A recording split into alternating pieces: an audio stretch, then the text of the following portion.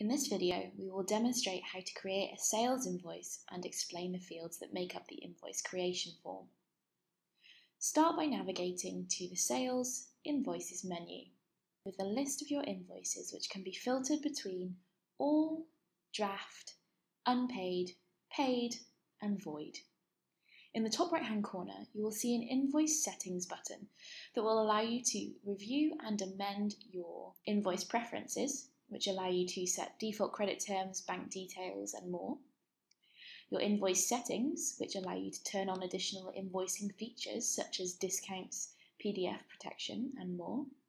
And finally, your invoice themes, which determine what your invoices look like. To create an invoice, click on the Create Invoice button. The invoice number should start from 1 unless you have set a different starting invoice number in the preferences. It will increment from the previous invoice number in future. Select the customer in the drop-down box. You can use the Add link if you want to add a new customer from this menu. Next, select a date for the invoice. The due date in the next box along is automatically populated based on the invoice date you've just entered.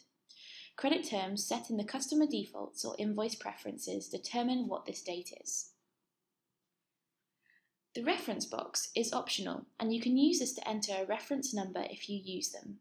You'll be able to search for invoices by reference number using the search bar at the top of the page.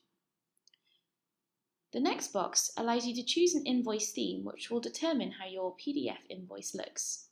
If a theme isn't chosen, ClearBooks will default to the standard theme unless you have already set a default invoice theme.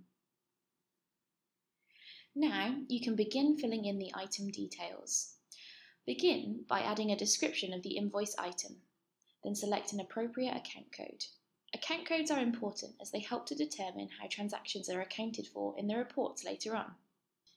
Next, type in the quantity of the item sold and enter a unit price. The system will then work out the gross amount based on this figure and the VAT rate that you enter next. Choose an appropriate VAT rate from the drop-down list. This will update the VAT amount and gross box automatically. If you select a manual VAT rate, you can enter a specific amount in the VAT amount box. Alternatively, you can enter a gross amount first, and the system will then work out the VAT and net amount based on the VAT rate you choose.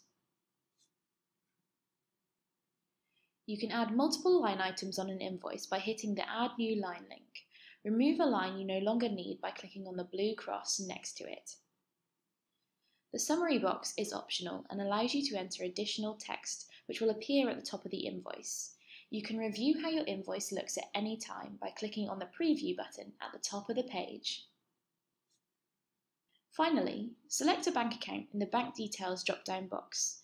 The bank account you select will display the account details of the bank in the payment slip of the invoice so your clients can easily make payment. If you would like to change the preset payment advice text shown on the PDF invoice, simply click Edit Invoice Payment Text. The Manage Attachments link will allow you to upload and attach any files related to this invoice, such as terms and conditions. Simply click Upload Files, choose a file saved on your computer, and then click Attach to do this.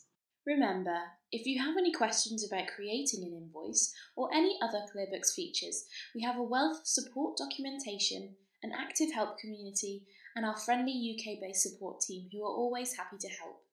Thank you for your time.